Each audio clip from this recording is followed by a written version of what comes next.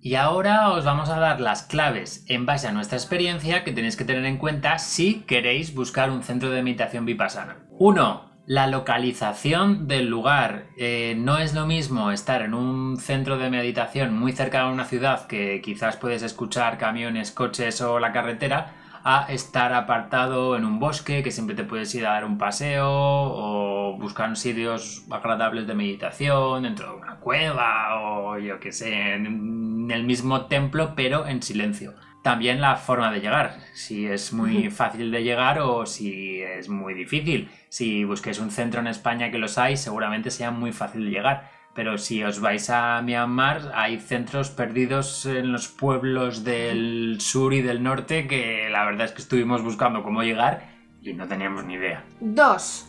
La flexibilidad en cuanto a poder hablar, no, poder comer a todas horas o no, leer, escribir, móviles, etc.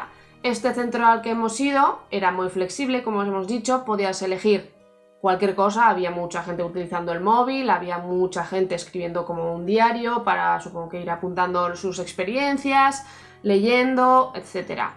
Pues aquí ya cada uno mm, lo que quiera buscar. Si es la primera vez y tenéis un poco de miedo como nosotros de a ver si nos vamos a, nos vamos a volver locos de no hablar tantos días o tal, pues podéis buscar un sitio flexible como este. Que ya tenéis seguro que queréis hacer un retiro más estricto, sin estímulos, etc.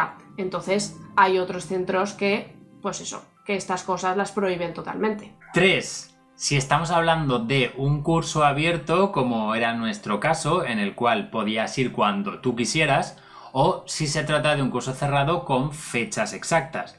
Si se trata de un curso cerrado, seguramente eh, todo esté mucho más programado y cada día te vayan enseñando eh, desde la técnica básica hasta técnicas más avanzadas o teoría de Dhamma y Vipassana. Si es un centro abierto como este, quizás sea todo una especie de bucle, como nos pasó a nosotros, en el que tienes que eh, subirte a un tren en marcha y apañártelas como puedas. Y cuando ya llevabas unos cuantos días, volvías a escuchar lo primero que habías escuchado el día que llegaste. 4. El tema del dinero. En teoría, mm, según Buda, no se puede cobrar por enseñar las técnicas de meditación vipassana, porque decía que esta era una sabiduría que todo el mundo tenía derecho a conocer, entonces que no tenía que ser un negocio. Y de hecho la gran mayoría de los templos que hemos encontrado no, no hay un coste, sino que os piden una donación para poder seguir haciéndolo y para la comida, manutención, etc. Pero es totalmente libre, anónimo y pues tú donas lo que quieres. Pero sí que vimos otros centros que sí que te pedían un dinero concreto. Había un centro que pedía un bat por día, que son 30 céntimos, no... 0,3 céntimos. Ah, eso. Pues no sé, esa cantidad simbólica no, sé, no sabemos para qué servía, pero había un centro así. Había otro centro que era como 8 euros al día, y hemos visto otros, no pone Vipassana yo creo, pero de retiros espirituales o retiros de meditación de cientos de dólares o tal.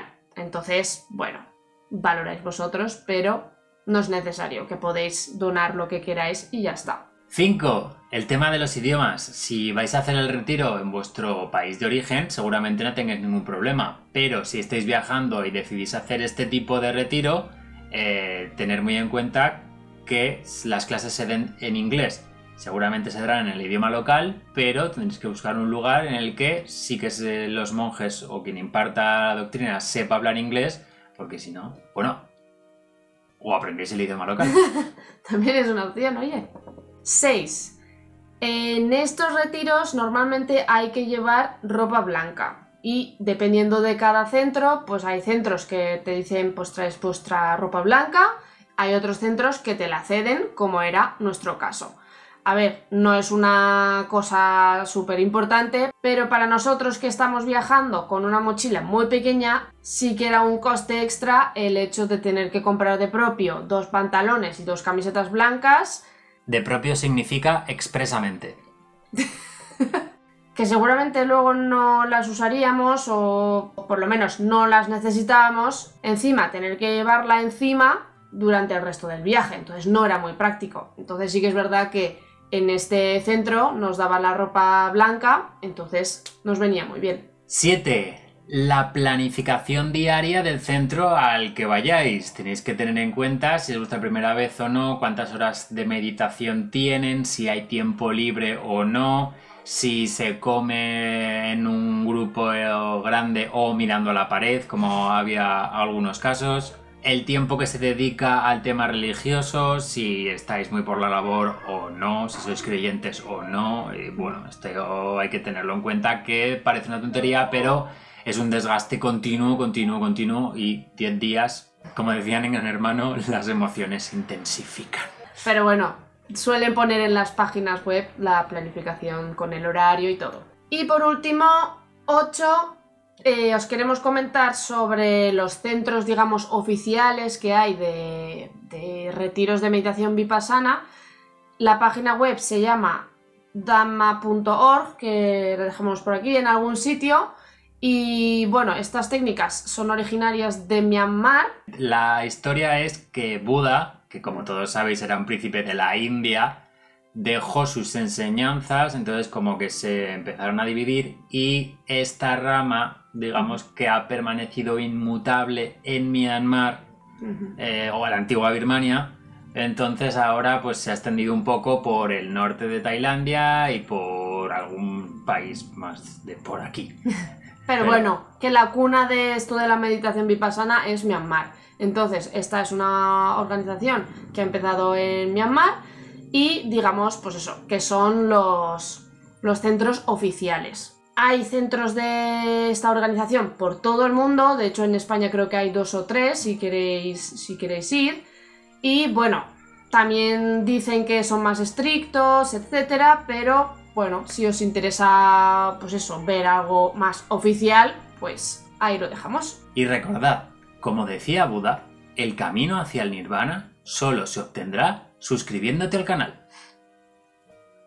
O darle a like también. ¿Y algún comentario? Sí, comentario también.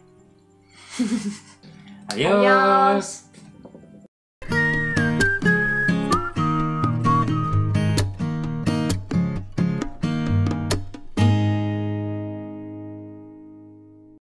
Si queréis practicar en casa, la pierna derecha sobre la pierna izquierda, la mano derecha sobre la mano izquierda.